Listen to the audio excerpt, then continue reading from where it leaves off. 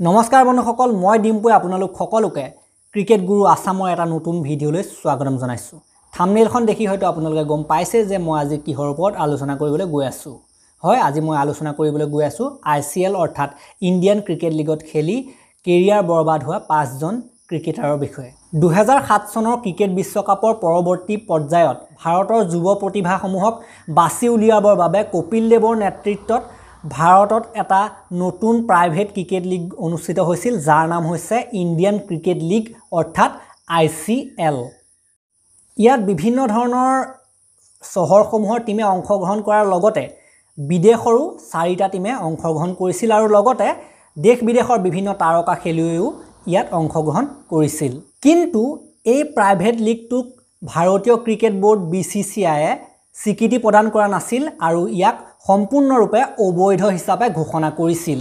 পৰৱৰ্তী সময়ছোৱাত বিশ্বৰ আন আন ক্ৰিকেট বৰ্ডসমূহেও এই ক্ৰিকেট লীগটোক অবৈধ হিচাপে ঘোষণা কৰিছিল আৰু নিজৰ দেশৰ ক্ৰিকেটাৰসকলক এইটো ক্ৰিকেট লীগত নেখেলিবৰ বাবে সকিয়নি দিছিল। কিন্তু কিছুমান ক্ৰিকেটাৰে ক্ৰিকেট বৰ্ডবিলাকৰ এই সকিয়নিক অমান্য কৰিও এইটো লীগত খেলিবলৈ ধৰিছিল। তাৰ ফলস্বৰূপে তেওঁলোকৰ আন্তঃৰাষ্ট্ৰীয় কেৰিয়াৰ সম্পূৰ্ণৰূপে বৰবাদ হৈ গৈছিল ধ্বংস হৈ গৈছিল। এই ভিডিঅ'টোত আজি আমি তেনেকুৱা পাঁচজন ক্ৰিকেটাৰৰ বিষয়ে আলোচনা কৰিম। তেন্তে ব'লক আৰম্ভ কৰোঁ কাউণ্ট ডাউনটো নম্বৰ ফাইভ বাংলাদেশৰ আফতাব আহমদ। এওঁ বাংলাদেশৰ এজন চাইনিং ষ্টাৰ বেটছমেন আছিল। মাত্ৰ ঊনৈছ বছৰ বয়সত তেওঁ বাংলাদেশৰ হৈ ডেবিউ কৰিছিল। তেওঁ বাংলাদেশৰ হৈ পঞ্চল্লিছখন এদিনীয়া ষোল্লখন টেষ্ট এঘাৰখন টি টুৱেণ্টি আই খেলিছিল। কিন্তু আই চি এলত অংশগ্ৰহণ কৰাৰ বাবে তেওঁক বাংলাদেশ ক্ৰিকেট বৰ্ডে দহ বছৰৰ বাবে বেন কৰে যাৰ ফলস্বৰূপে তেওঁৰ কেৰিয়াৰ সম্পূৰ্ণৰূপে সমাপ্ত হৈ পৰে। Number four Rohan Gavaskar.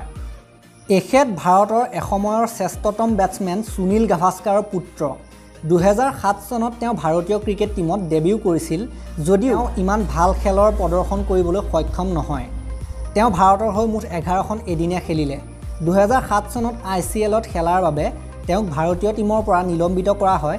অৱশ্যে পাছৰ পৰ্যায়ত তেওঁক ক্ষমা কৰি দিয়া হৈছিল যদিও টীমত চান্স পোৱাৰ পৰা তেওঁ বঞ্চিত হয়। এইদৰে তেওঁৰ কেৰিয়াৰ সমাপ্ত হয়। তেওঁ বৰ্তমান পিতৃ সুনীল গাভাস্কাৰৰ দৰে ক্ৰিকেট কমেণ্ট্ৰি কৰে। Number three Justin Kemp Justin Kemp দক্ষিণ আফ্ৰিকাৰ এজন আক্ৰমণাত্মক বেটছমেন তথা এজন ফিনিচাৰ আছিল। তেওঁ দক্ষিণ আফ্ৰিকাৰ হৈ পঁচাশীখন এদিনীয়া চাৰিখন টেষ্ট আৰু আঠখন টি টুৱেণ্টি আই খেলিছিল। কিন্তু আই চি এলত খেলাৰ পাছৰ পৰা তেওঁক টীমত আৰু সুযোগ দিয়া নহ'ল। নম্বৰ টু মহম্মদ ছামী পাকিস্তানৰ ফাষ্ট বলাৰ মহম্মদ ছামীয়ে দুহেজাৰ এক চনত পাকিস্তানৰ হৈ ডেবিউ কৰিছিল। তথা দুশতকৈ অধিক উইকেটো দখল কৰিছিল। কিন্তু আই চি এলত খেলাৰ বাবে তেওঁক টীমৰ পৰা নিলম্বন কৰা হৈছিল যদিও পৰৱৰ্তী পৰ্যায়ত তেওঁক ক্ষমা কৰি দিয়া হয়।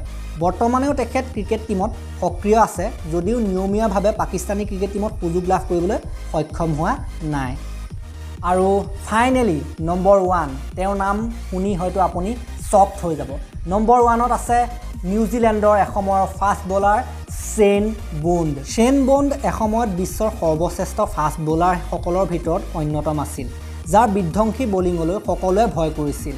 তেওঁ ওঠৰখন টেষ্টত সাতাশীটা উইকেট আৰু বিয়াশীখন এদিনীয়াত এশ সাতচল্লিছটা উইকেট লৈছিল। কিন্তু আই চি এলত নাম অন্তৰ্ভুক্ত কৰি খেলাৰ পাছত তেওঁক নিউজিলেণ্ড ক্ৰিকেট বৰ্ডে সদায় মাহীয়াৰ চকুৰে চাবলৈ ল'লে আৰু তেনেদৰেই তেওঁৰ কেৰিয়াৰ বৰবাদ হৈ পৰে। গতিকে এইকেইজনে আছিল বিশ্বৰ কেইজনমান উদীয়মান তাৰকা খেলুৱৈ যাৰ কেৰিয়াৰ আই চি এলত খেলাৰ পাছৰ পৰা সম্পূৰ্ণৰূপে ধ্বংস হৈ যায় বৰবাদ হৈ যায়। আই চি এল আছিল আন্তঃৰাষ্ট্ৰীয় পৰ্যায়ৰ এটা প্ৰাইভেট লীগ যিটো পোনপ্ৰথমবাৰৰ বাবে ভাৰতত অনুষ্ঠিত হৈছিল। আই চি এলৰ পৰৱৰ্তী পৰ্যায়ত ভাৰতত আই পি এল অনুষ্ঠিত হয় আৰু আই পি এলক বি চি চি আইৰ অধীনস্থ কৰা হয় আৰু বি চি চি আই তাক স্বীকৃতি দিয়ে। এইদৰে আই পি এল অহাৰ লগে লগে আই চি এল সম্পূৰ্ণৰূপে সমাপ্ত হৈ যায় যদিও দুহেজাৰ সাতৰ পৰা দুহেজাৰ ন চনলৈকে এই টুৰ্ণামেণ্টটো চলি থাকে। আজিলৈ এই ভিডিঅ'টোত ইমানেই। যদিহে এই ভিডিঅ'টো ভাল পালে তেন্তে এটা এটা লাইক দিব শ্বেয়াৰ কৰিব বিশেষকৈ অসমীয়া ক্ৰিকেট বুলি ৰাইজসকললৈ শ্বেয়াৰ কৰিব আৰু মোৰ চেনেললৈ নতুনকৈ আহিছে যদি ছাবস্ক্ৰাইব কৰি দিব তেতিয়ালৈকে মই ডিম্পুৱে বিদায় মাগিছোঁ। ধন্যবাদ।